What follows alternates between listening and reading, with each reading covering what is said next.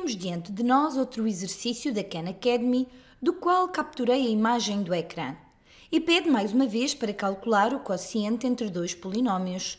Devemos apresentar a resposta na forma de um só polinómio ou um polinómio mais o resto, sobre x menos 5, que corresponde ao que temos aqui no denominador, em que p de x é um polinómio e k é um número inteiro. Então já fizemos coisas como esta antes, mas como sempre encorajo-vos a fazer uma pausa no vídeo e a trabalhar nisto sozinhos. E se estivéssemos a fazer isto na Khan Academy, haveria aqui uma caixa de entrada onde depois se introduziria a resposta. Mas agora vamos fazê-lo em papel, por assim dizer. Muito bem, estamos a tentar descobrir o quociente entre 2x ao cubo e é preciso ter atenção para o seguinte: devemos escrever o polinómio de forma organizada, tendo em conta os graus dos termos, quer eles existam ou não, separar bem as várias posições. Então temos os termos de terceiro grau, depois os termos de segundo grau, que neste caso não tem, os termos de primeiro grau que este polinómio tem, então vou escrevê-lo aqui, menos 47x e, sendo ainda mais cuidadosa, vou escrever mais 0x ao quadrado. Isto vai ajudar-nos. E depois tenho menos 15. E faz mesmo mais sentido colocar este 0x ao quadrado. Ajuda a ter a expressão organizada pelo grau dos termos. Isto tudo a dividir por x menos 5. Muito bem, agora já podemos trabalhar nisto. E em primeiro lugar perguntamos x vezes o quê para se obter o termo de maior grau aqui. Bem, x vezes 2x ao quadrado é 2x ao cubo. 2x ao quadrado vezes menos 5 é menos 10x ao quadrado. Como podem verificar, ficaria muito confuso se tivesse escrito logo menos 47x aqui. Ficaríamos sem saber onde escrever o menos 10x ao quadrado. Seria uma confusão e nenhum de nós gostaria que isso acontecesse. Muito bem, 2x ao quadrado vezes x é 2x ao cubo. Agora queremos subtrair o que temos em magenta do que temos em azul.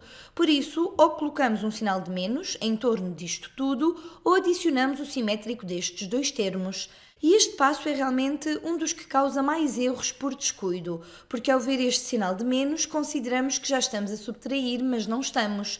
Subtrair um número é o mesmo que adicionar o seu simétrico, então é só uma questão de trocar aqui os sinais. Muito bem, então 0x ao quadrado mais 10x ao quadrado é 10x ao quadrado. E depois 2x ao cubo menos 2x ao cubo é apenas 0. E agora podemos baixar o menos 47x. E mais uma vez olhamos para os termos de grau mais elevado, x vezes 10x para obtermos 10x ao quadrado. Então 10x. 10x vezes menos 5 é menos 50x. 10x vezes x é 10x ao quadrado. E mais uma vez queremos subtrair o que temos a azul do que temos em magenta, que já sabemos é o mesmo que adicionar o simétrico. Então aqui passamos a ter um sinal de menos e aqui passamos a ter um sinal de mais. Agora temos menos 47x mais 50x é mais 3x, ou só 3x. E depois 10x ao quadrado menos 10x ao quadrado, que se anulam. Baixamos o menos 15. Muito bem, x vezes o quê para se obter 3x vezes 3. 3 vezes menos 5 é menos 15 e 3 vezes x é 3x. Agora queremos subtrair os termos a laranja aos termos a azul. Então adicionamos o simétrico de cada um deles. Sendo assim, este torna-se menos 3x e este torna-se mais 15.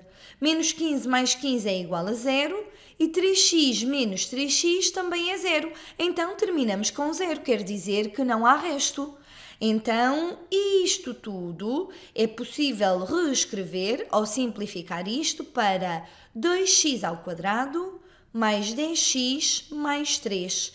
E mais uma vez, se este exercício estivesse no site da Khan Academy, haveria aqui uma caixa de entrada e teríamos que introduzir esta expressão. Agora, para que estas expressões sejam realmente equivalentes, é necessário criar uma condição, que é x ser diferente de 5. E a razão pela qual é necessário colocar esta condição deve-se a não podermos ter um denominador igual a zero. E de facto, desde que x seja diferente de 5, o denominador nunca será zero. Mas neste exercício em específico não é necessário colocar a condição. Basta escrever esta expressão.